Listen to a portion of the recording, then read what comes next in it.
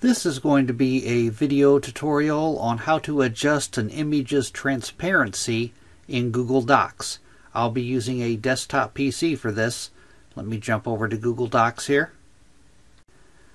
Okay, I have a little example project opened up here in Google Docs. I've inserted an image right here. To adjust the transparency of an image in Google Docs, first thing you want to do is click on the image you want to have it selected. Then you want to go up to where it says Image Options. And you want to click on that. Now in the pane that opens up on the right hand side here, you want to click on Adjustments.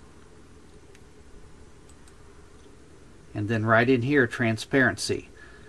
By default, your image has no transparency to it. But if I slide the slider all the way to the other side, my image disappears. So you just use this slider to adjust your transparency. That is how you adjust the transparency of an image in Google Docs. Thanks for watching.